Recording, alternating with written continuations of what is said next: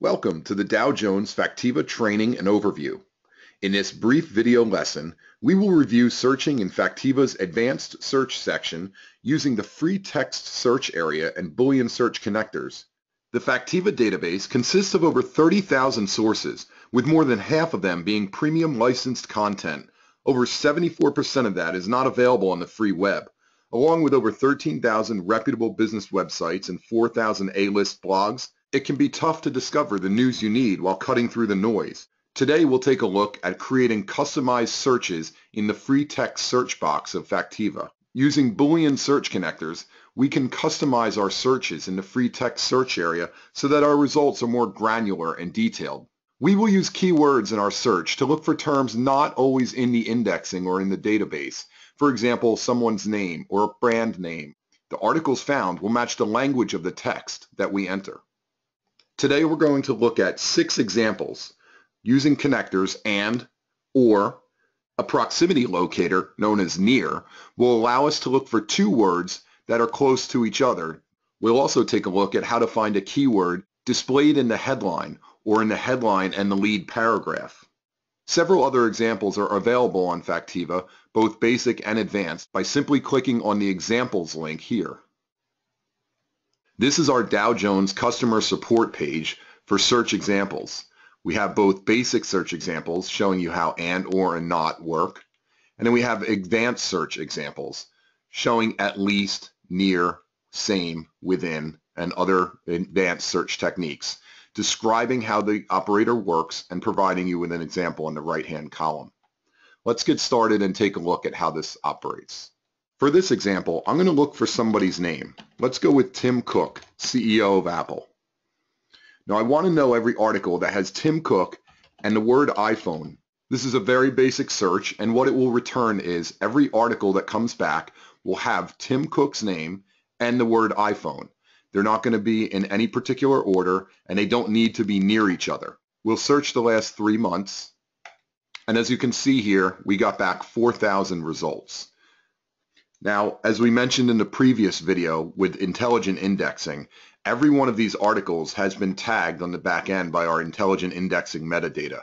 We can use the discovery pane on the left-hand side to further sort these results and get more granular. For example, when I'm looking up Tim Cook and iPhone, I may only want to know what recent articles are speaking about sales figures of the iPhone. So under the subject, I'll see here sales figures. We can click on this and filter out all the articles that have been tagged as being about sales figures.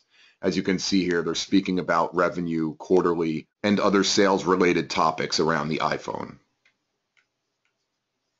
Let's go back and modify our search by clicking in the top right area, Modify Search.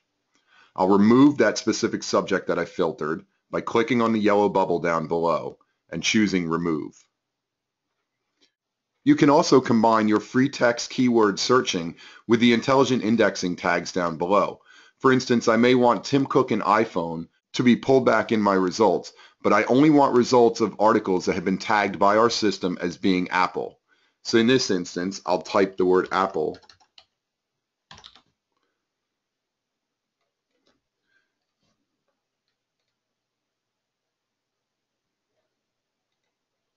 So here I know that every article that's coming back has been tagged by our system as being Apple related. I can modify the search and change the industry or add a subject or add an industry.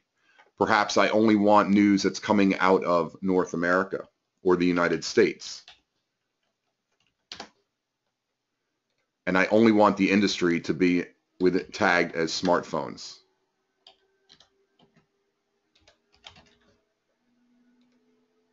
So now I have combined my keywords of iPhone and Tim Cook and the articles that are being pulled back are already tagged with Apple. They're tagged with the industry smartphones and they're only coming from the United States. So now I've narrowed down from the 4,000 earlier to 838 articles. But I know that these are much more granular and much more specific as they've been tagged with Apple, tagged with an industry, and tagged with a region of United States.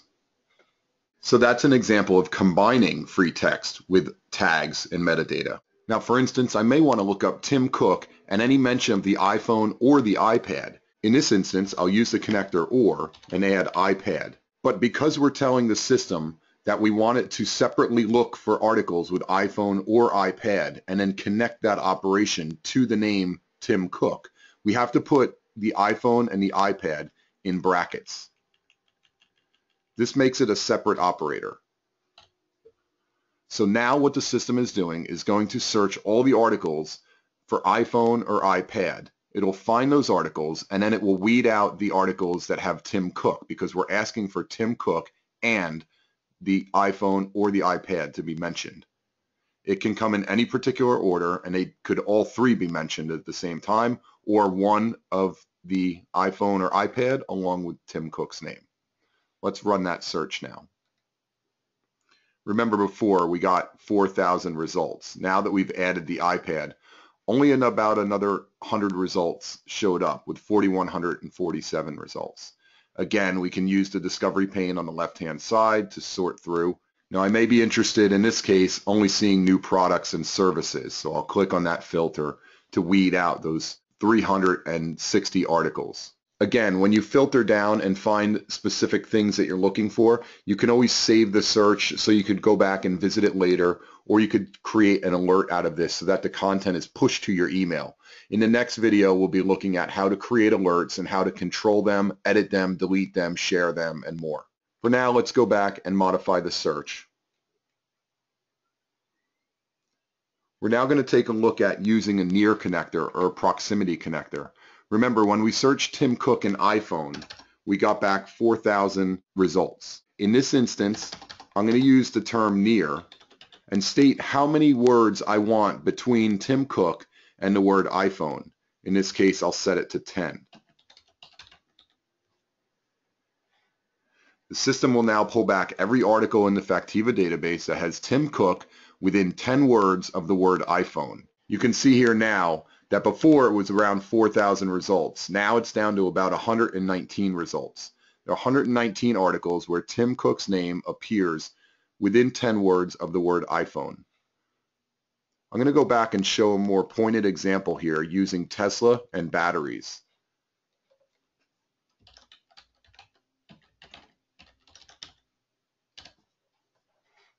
If I run a search for Tesla and battery, I'm going to pull back in the last three months 6,799 results.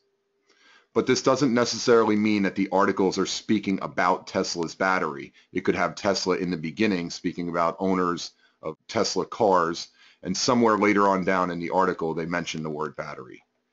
But if I modify the search and change that to near for a proximity locator, I'll keep it very close at 5. I want Tesla to be within 5 words of the word battery.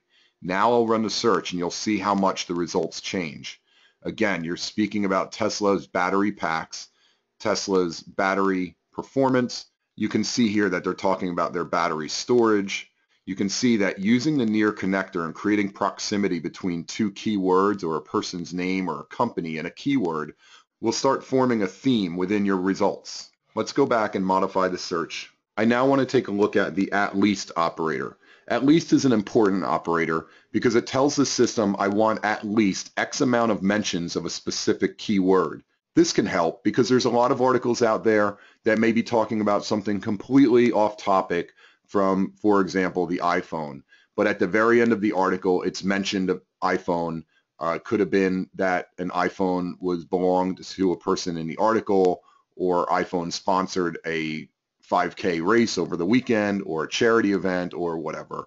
Uh, in that case, the article would come back, but it has nothing really to do with the iPhone.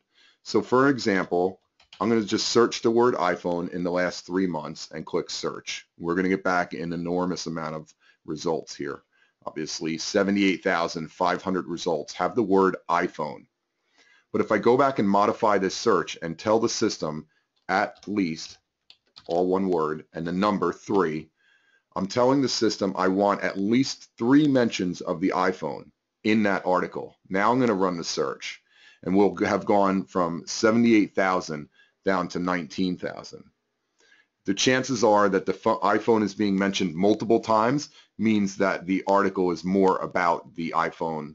And we have two more operator examples I want to point out. One is headline and one is headline and lead paragraph.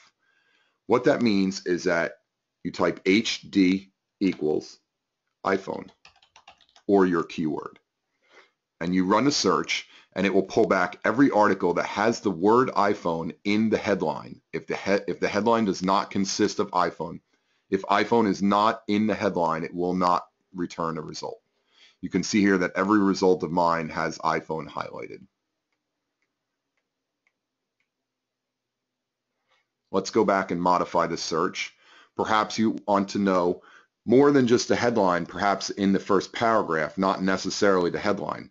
That's HLP equals for headline or lead paragraph, iPhone.